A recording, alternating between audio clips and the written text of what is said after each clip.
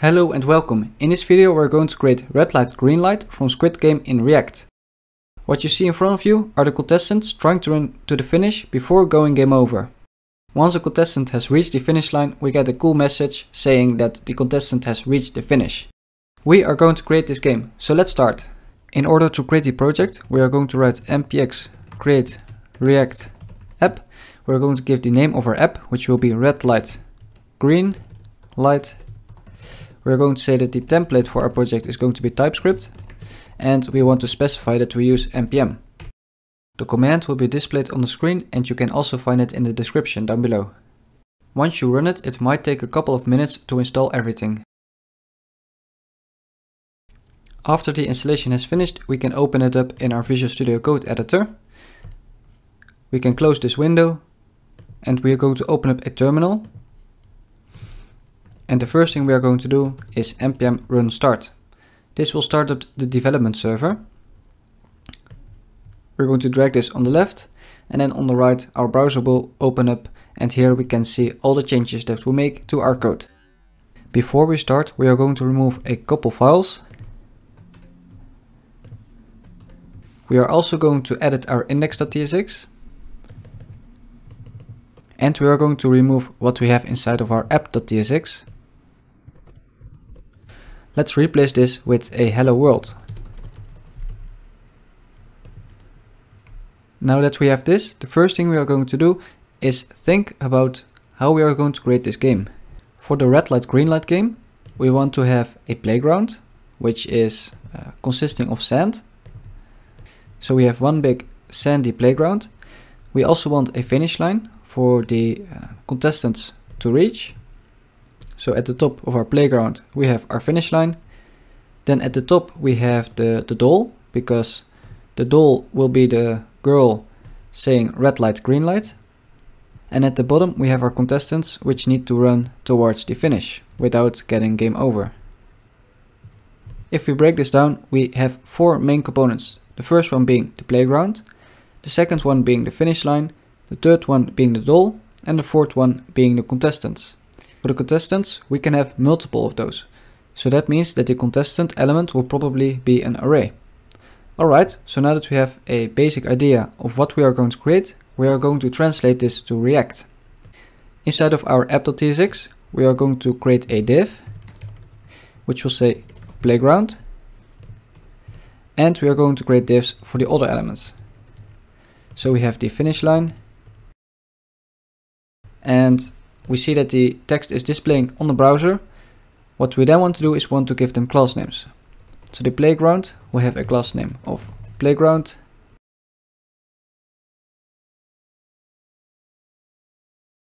If we save this up, we still get the same result, but now we can start applying some styling to those elements. We start by opening up our app.css and inside of here we are going to say dot playground and we are going to give it a background color of, do we have sand? Sandy brown. If we save this up, we see a nice sandy brown color on our playground. Alright, that looks good, but the playground needs to be the size of the screen. So, we want to give it a height of 100 view height, like so. And we can also specify the width, which will be a 100 view width. Then we want to make sure that the position of the playground is absolute. Now that we have our playground, we can start working on the next thing, which will be the finish. For our finish, we want to have a background color of red. And we don't see the finish right now. That is because it's hiding behind the playground. The playground is the first element in the page and the finish comes after it, so that's why we don't see it. What we can do is we can remove the playground from inside the playground and then we can wrap everything inside of this playground. And now we see our finish again our finish will be uh, also positioned absolutely. And we also want to give our finish a fixed height and a fixed width. So we say height 20 pixels. And then a width of 100 view width, like so. And then what we also want to do is we want to give it a top. So we say top and let's move it 80 pixels from the top. And as you can see, our finish is now at the top of the page. We then want to remove the word finish from here and we start working on the doll. For the doll, we want to make it yellow. So we say background color yellow. And we also want to give it a position of absolute, a top of 20 pixels, and then we want to give it a width of 50 pixels and a height like so. But as you can see, the doll is a square. We actually want it to be a circle.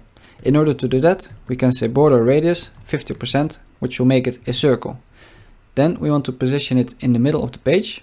So we say left 50%.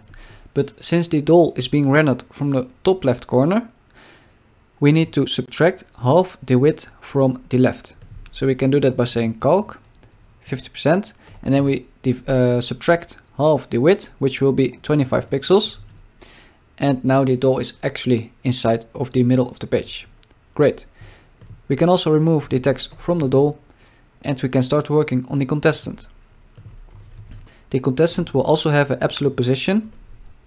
It will have a top of 900 pixels and then we want to give it a width of 30 pixels, a height of 30 pixels and then also a background color of something blue like so maybe just blue?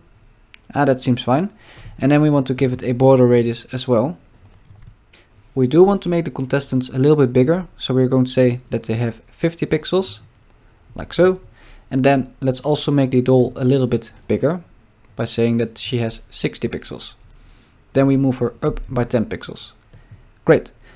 We can also remove the text contestant, but instead of removing it, we are going to replace this with a zero, because our contestants will have numbers or names to identify them. The zero is now on the top left corner of the circle. First we want to make the text white, and then we want to display the text in the middle of the circle. So right here we say display flex, justify content center, and align items center which will align the text in the center of the circle. Great. We also want to center the text itself. So we say text align, center, like so. One last thing that we are going to add is a border. We are going to give it a border of one pixel solid black. Now we have the basic layout of the game.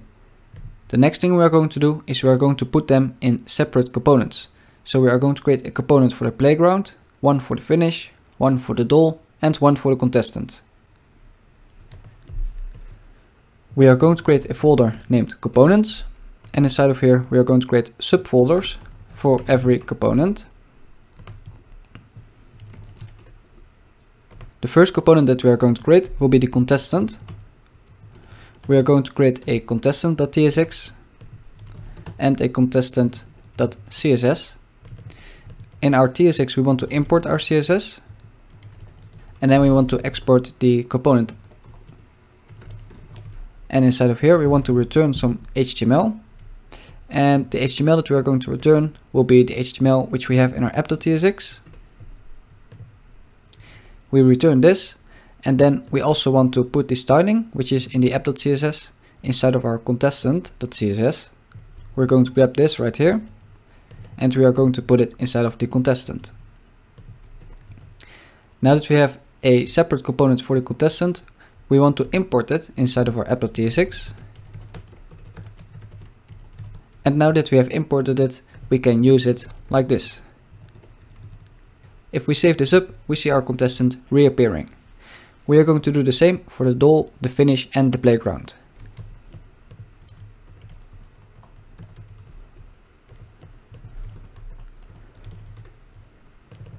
So right here we are going to return the doll. And then inside of our doll.css we want to put the doll styling like so.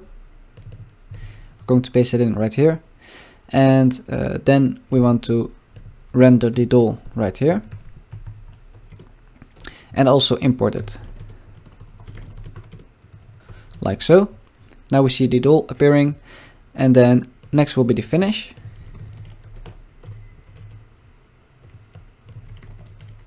We're going to also export the finish and we want to return this finish. Then we want to take the styling for the finish and put it inside of the finish.css. And then right here we say finish and we obviously want to import it from here like so. The last component that we are going to create will be the playground.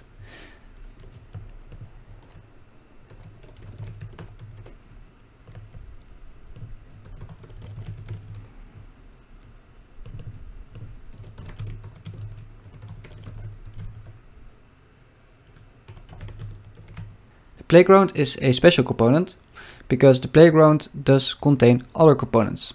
Right now, the playground is a div and it contains the finish, the doll and a contestant. If we import our playground and replace this with our playground, we will probably get an error. And if we save this up, we do get an error because type children element has no properties in common with type intrinsic attributes. Basically, what this means is that the playground doesn't have the ability to render any children. To give it this ability, we are going to create a type of props and we're going to say that one of the properties will be children and this will be of type react.node. We then want to pass in the react node as a property to this playground and if we save this up the arrow will be gone and if we refresh the page we see that everything is rendering again. The only thing that's missing is all the elements inside of the playground. In order to show those elements, to show those children, we need to render them. All we have to do is say children right here and right now we see the children yet again. What we do right here is something special. What we do is destructuring. What destructuring does is it allows us to immediately access properties of an object. So right here we have a type props. And the object will be for example properties. And then in order to use the children we would need to say properties dot children but instead of having it assigned to an object and then accessing the properties of that object by saying properties.children, we can also immediately assign the properties to our own variables.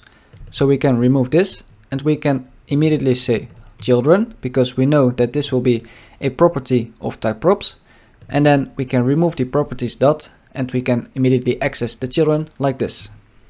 Now that we have everything in its own component, we are going to work on the contestant component. We are going to open up contestant.tsx right here. And instead of always rendering a hard-coded zero, we want this to be a variable.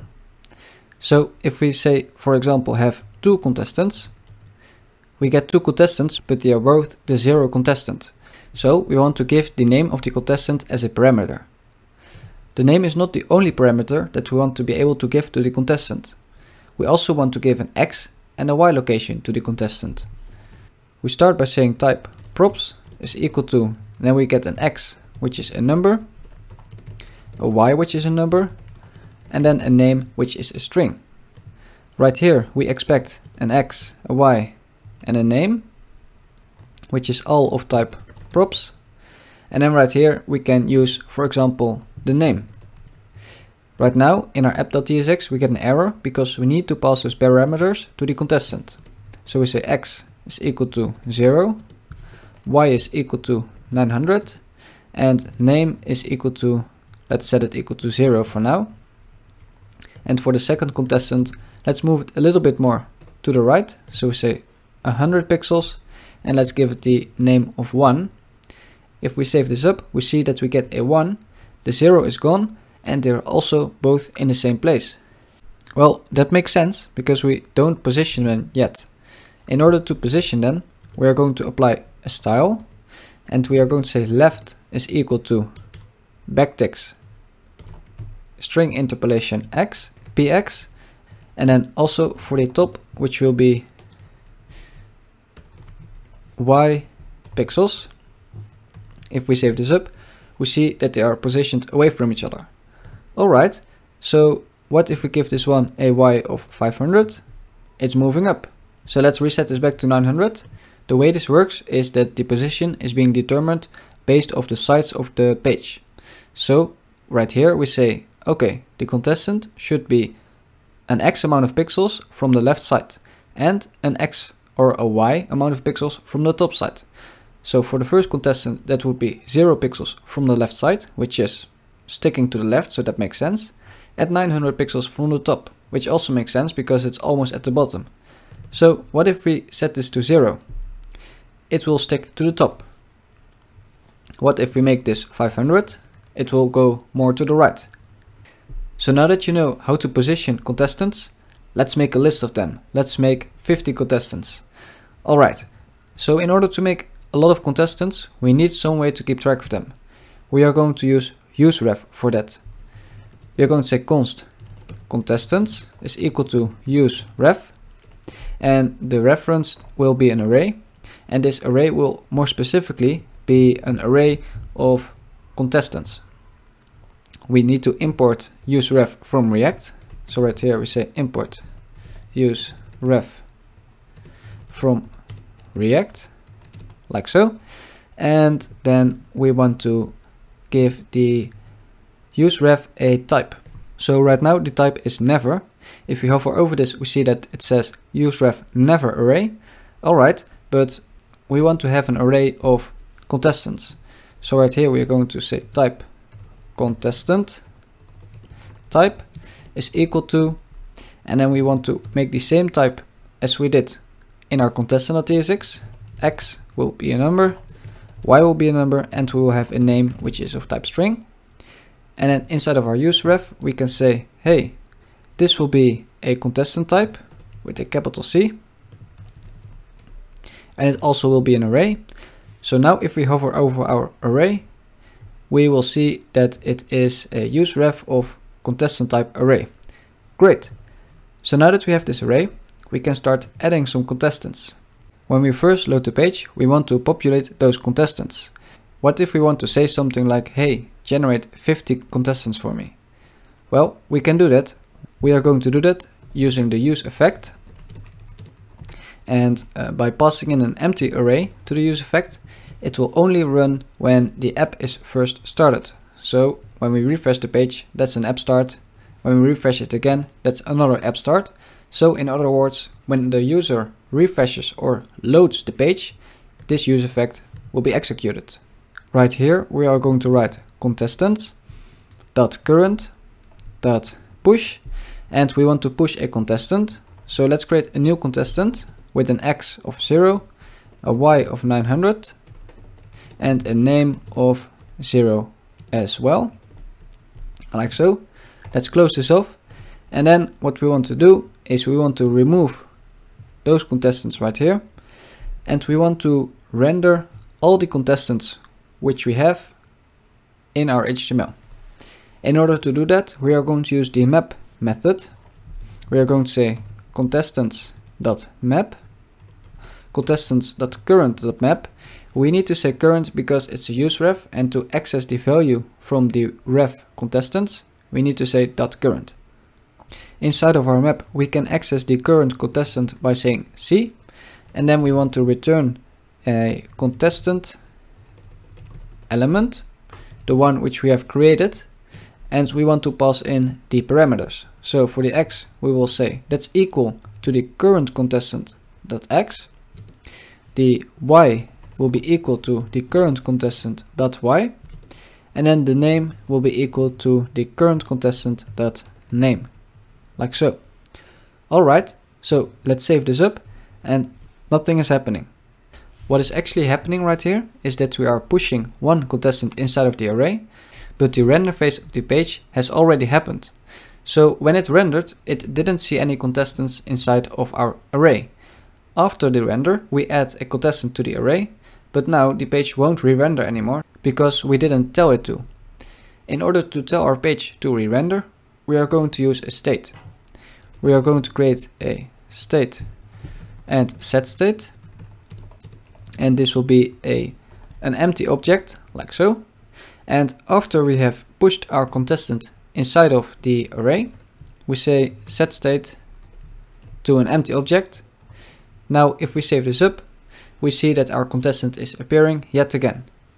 Since we only need the set state and not the state itself, we can omit the first parameter like so, and it's still working. Alright, so the next thing we are going to do is instead of creating one contestant, we want to create 50 of them. If you want to try this out yourself, please pause the video right now. We are going to create them using a for loop. We are going to say for let i is equal to 0, while i is smaller than 50, i++, plus which means, hey, uh, we start counting at 0, if the counter is still smaller than 50, do something and execute this piece of code. Um, and then the i is 1. Hey, is it still smaller than 50? Yes. Okay, execute it again. i is 2.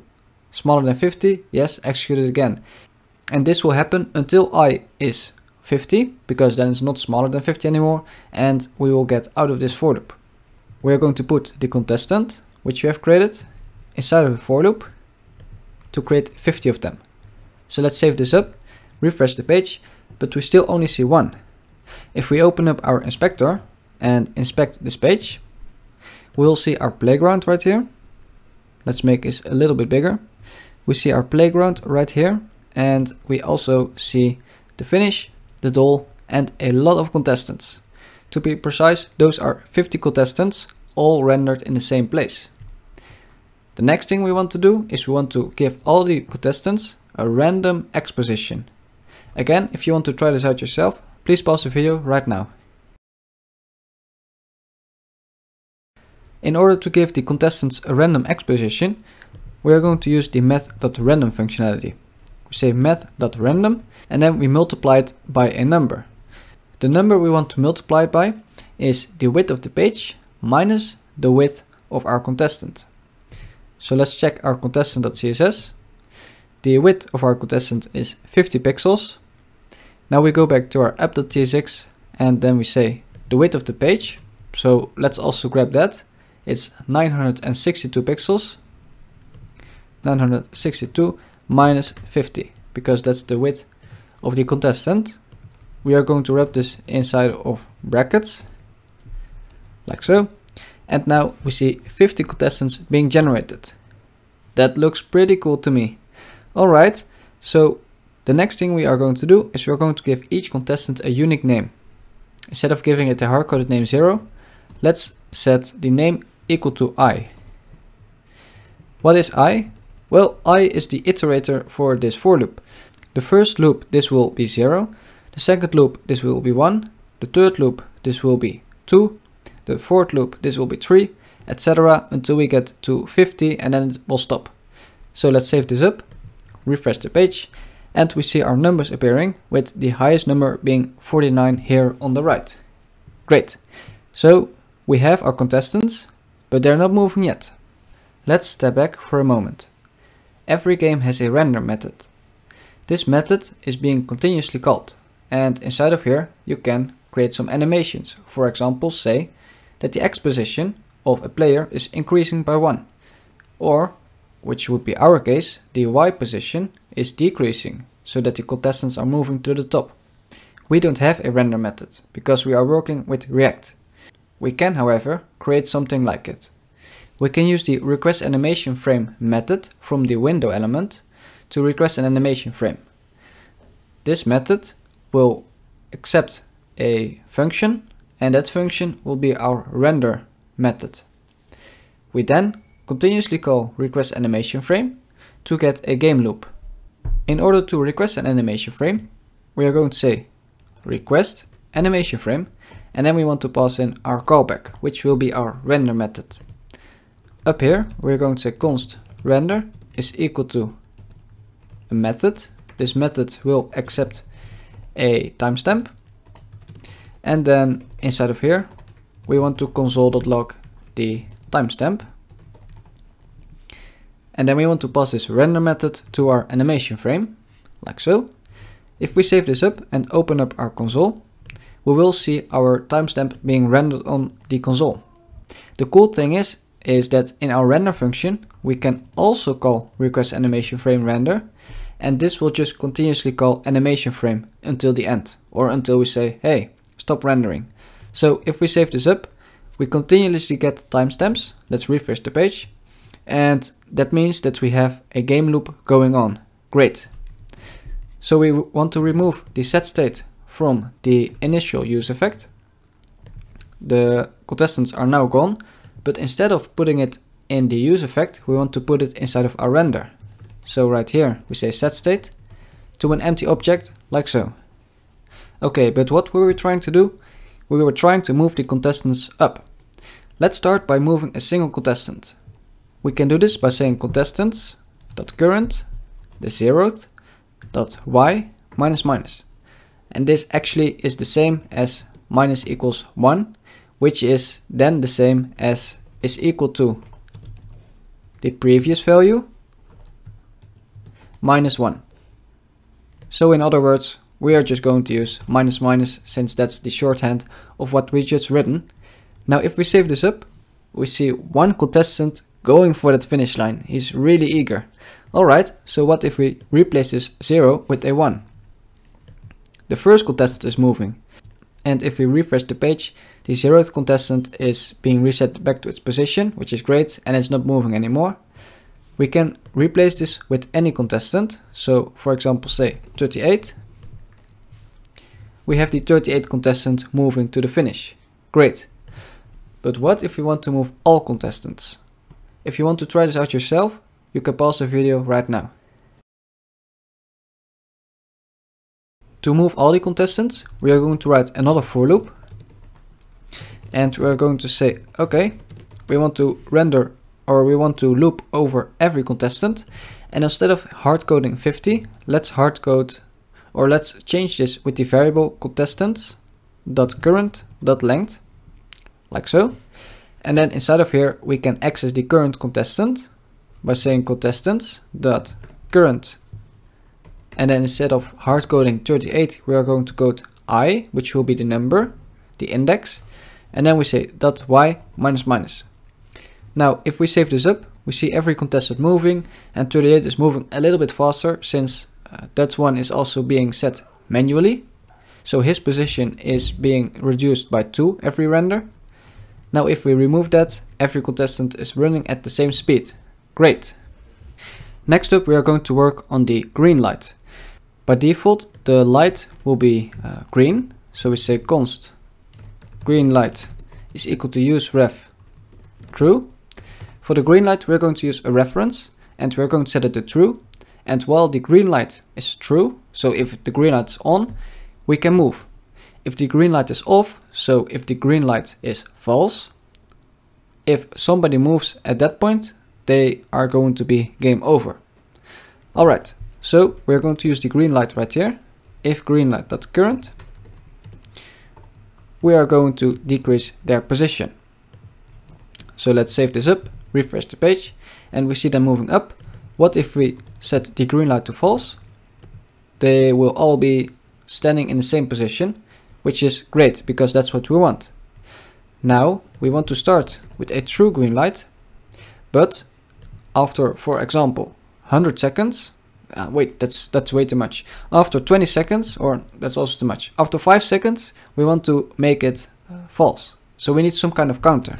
So we say const green light counter equals use ref and then let's say 100 so at the top here in our render, we decrease the green light counter by one. So we say minus minus, and then we check if the green light counter is smaller than zero. Then we want to say that green light is equal to false. And we need to use the current values because we are working with refs. So let's set it like this. And now if we refresh the page, we see our contestants moving up. And once the counter hits zero, they are stopping. Alright, now we can stop the contestants from moving. We also want to turn the green light back on again. In order to do that, we are going to reset the counter right here.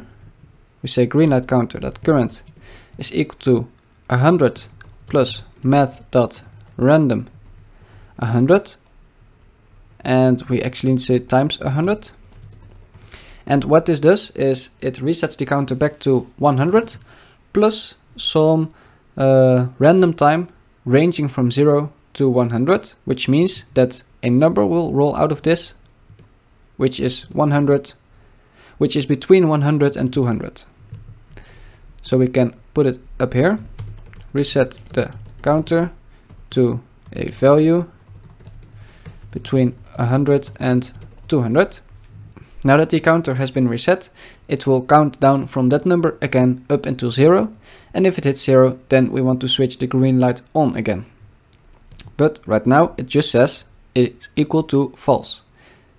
We want to make this false when the green light is on and we want to make this true if the green light is off. So in other words, we want it to be opposite of what it was before. So if it was true before, we want it to become false. If it was false before, we want it to become true. We can really easily do this by saying is equal to exclamation mark green light dot current, which will just inverse the current value um, by saying exclamation mark. So if this, what I'm selecting right now, is equal to true, the exclamation mark will make this false. If the green light current is false, the exclamation mark will make it true. So we get the opposite of what we had before. If we save this up and refresh the page, we see the contestants running towards the finish and they stop and they start running again. And they stop and they start running again. Great. So now we have the red light, green light mechanism working. To make it more realistic, we also want some of the contestants to go game over. In order to do that, we are going to expand on this if statement. So here we check if the green light is on. Here we are going to do something if the green light is off. We are going to roll a dice. And we are going to check if the dice is smaller than 1, which means it's between 0 and 1. And if it is smaller than 1, then we want to say, hey, this contestant is game over we don't we haven't implemented the game over yet. So in our contestant type, we want to add a game over property, which will be a boolean. And then down here, we need to add it. So we say game over, which is equal to false. By default, they are not game over, of course. And then up here, when uh, the contestant is game over, we say contestants dot current i that game over is equal to true. Alright, so now we know when a contestant is game over. If a contestant is game over, it shouldn't be able to move anymore. So right here, where we check the movement, we also want to check if the contestant is not game over.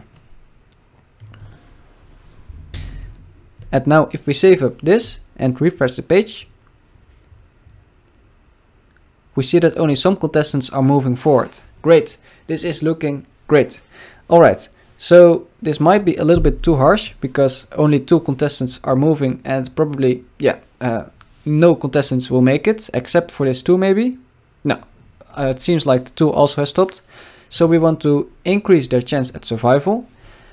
Let's make this number 200 and see what happens then. Now the chance that we will roll a uh, 0 or something smaller than 1 is a lot smaller because we get a range from 200.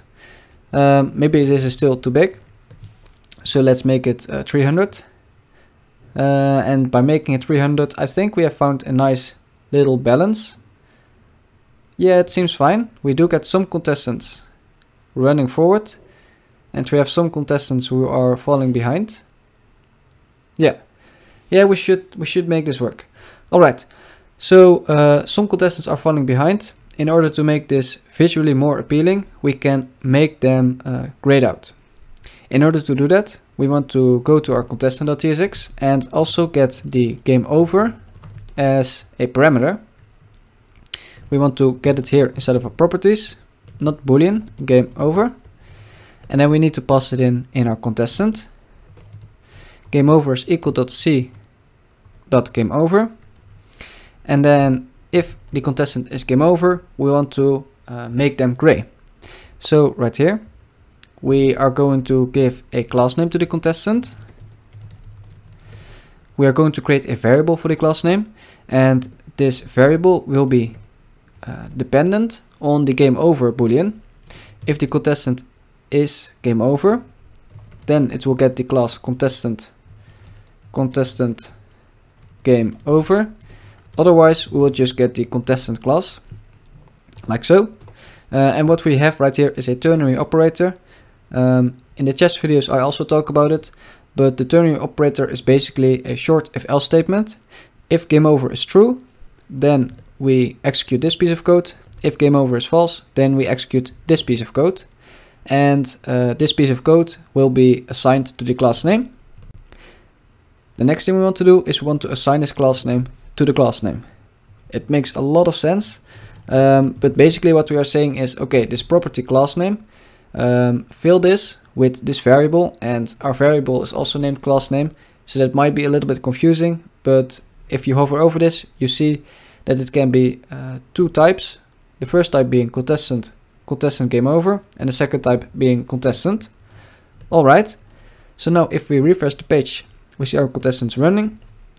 We are going to add a new class right here. Contestant game over, and we are going to give this a background color of RGBA, uh, or we can just make this gray. Yeah, of gray.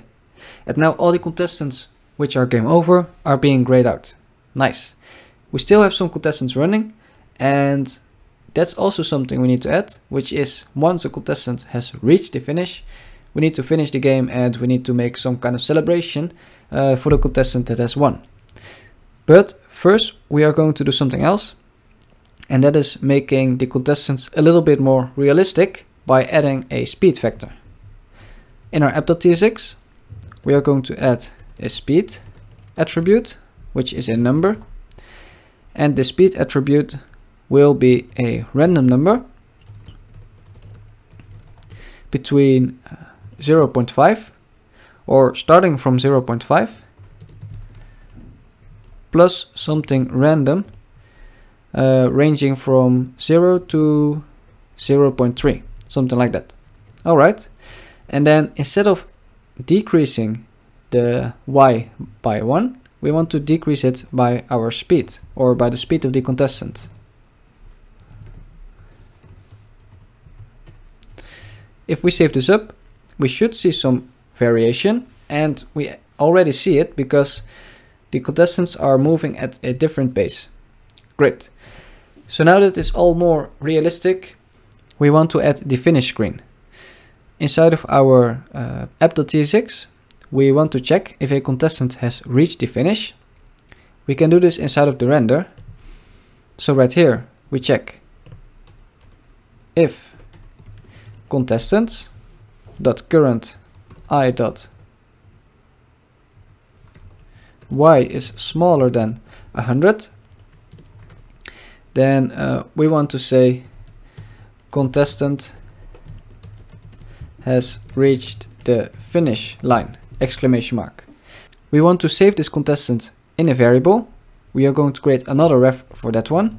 const finished contestant is equal to use ref contestant type empty. And then right here, we want to assign that contestant. And we want to assign it to the current contestant, which we can access by uh, the index, like so. All right, um, so now that we have the finished contestant inside of a variable, we want to do something with it. Um, so first of all, if a contestant has finished, let's stop requesting animation frames. In other words, if we don't have a finished contestant, we want to request animation frames, otherwise we want to stop. And um, also, we want to display something nice on the screen. So we are going to add a div right here. We are going to add a finish dialog and we only want to render this if the current or the uh, finished contestant is not null. We can do this by saying finished contestant dot current and this. Alright, so now we are conditionally, conditionally rendering a div element because we first check the first statement, which is finish contestant.current. If this is null, the second element won't be evaluated, so that means we won't get to see our div. If this is not null, if this is resulting into true, or if this value is filled, then we do want to execute the second statement, and then we will get to see our finish dialog. Alright, um, we might have made it a little bit too hard for the contestants because they are not reaching the finish line in time. Um, let's make them a little bit more faster by adding the base speed up to 0.7. And then let's let them run for a moment. In the meantime, we are going to style this finished dialog.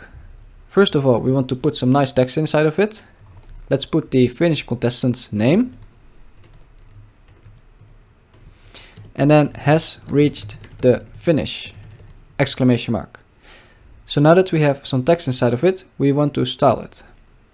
In our app.css, we want to style the dot finished dialog. Let's see if we called it that. Yeah, finished dialog. And uh, on the right, the contestants have stopped moving. That is because one has finished. Uh, and that means that the game loop has stopped running, which is great. We see that it is working. I just saved up the file from app.tsx and I just saved up the app.tsx file and now we also get our dialog. Great. Next we are going to style this dialog. We are going to give it a position of absolute. Then we are going to give it a z index of uh, 5, which just means it's on top of the page.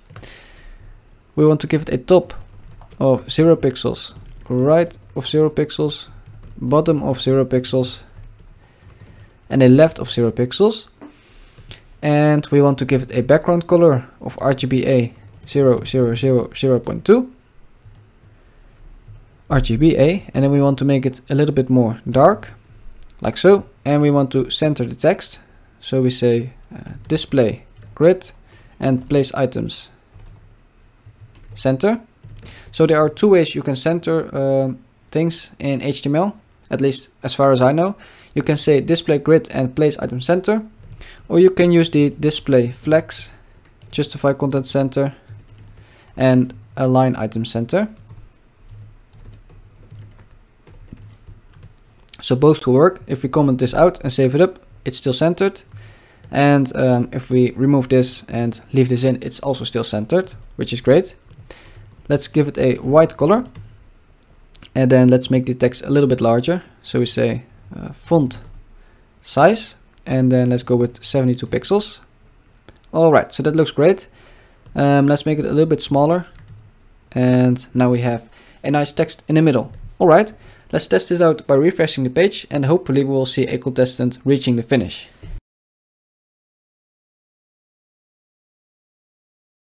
And contestant number 12 has reached the finish. Great. We have our game working. How cool is that? This is amazing. Alright, so now that we have our game working, what would be even more cool is if we could play inside of this game ourselves. Right? So in the rest of this video, we are going to go the player. Alright, so the player is nothing more than just a contestant. But what are the parameters that we are going to give to our contestant? The parameters are going to be another new contestant. So right here, we're going to create a player contestant. Is equal to use ref contestant type. And then right here we are going to create the contestant itself. We want to give it an x value of let's say a random position just like we do with the other contestants. Let's copy over this and put it right here. Then we want the y value to be equal to 900. Then we have the, let's see, the name. Okay, so the name will be front-end coding. Then we will have the game over, which will be, of course, false, because we are not going to be game over at the start of the game. And then to finish off our speed, we will set this to 2. So we have kind of an advantage over the other players, but we also don't have an advantage, and you will see why in a second. Now that we have our plain constant uh, contestant, we can uh, use this to fill our contestant. We say x is equal to player contestant current dot x. The same for the y. The name as well. And then to finish it off, the game over. Alright, so we have a new contestant which is front-end coding and he's just sitting at the bottom, not moving at all. Okay, in order to get him moving, we need to be able to make him move. We are going to do that by pressing keys. In order to capture key presses in React, we, uh, we are going to add an on key down on the app or on this div right here. And uh, then we want to pass in a function. The function that we are going to create will be the on key down function, which is equal to an event, which is of type event keyboard event from an HTML div element. And then inside of here, uh, we want to move our player up. Um, so here we're going to pass the on key down. And right here we are going to say react.keyboard event. Um, but we could also import it from React itself. So we can go to the top and we can say import keyboard event as well. Nice. Um, and now uh, it won't render. If we save it up, it will render. If we open up our console and press a key, uh, nothing is happening. Okay, um, we first need to make this div element uh, focused. So we say tab index is equal to zero. And right now, if we click on the div element, like now, we see that we are moving the player up, which is great. But if we refresh the page and press space immediately before clicking the div, nothing is happening because the div element is not being uh, focused right now. So what we want to do is we want to focus on a div the moment we start up the app. So we are going to add a ref for the div, const um, div ref is equal to use ref null and this will be an HTML div element like so. And then inside of our uh, HTML code right here, we say ref is equal to div ref. And then the moment we load up our page, we say div ref dot current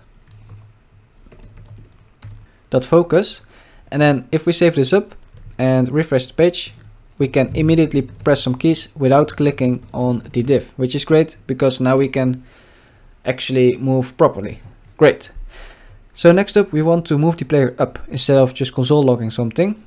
So right here, we say player contestant.current.y minus equals player contestant.current.speed. Let's save this up, refresh the page, and if we press space, we are moving up. Nice. How cool is this? We are participating in the Squid Games. We are literally participating in red light, green light from the Squid Games even though we can cheat because we won't go game over for some kind of reason, uh, and we are not able to finish either, um, we can participate in it. Alright, so let's start working on um, making ourselves go game over and uh, making ourselves be able to finish. So right here, um, if we press a key, we check if the green light is on. If it is on, then we increase or we decrease our Y value. And if it is off, we say player contestant.current that game over is true. Because we are trying to move when the green light is off, which means we are game over. So let's press a key and we go game over, but we can still move.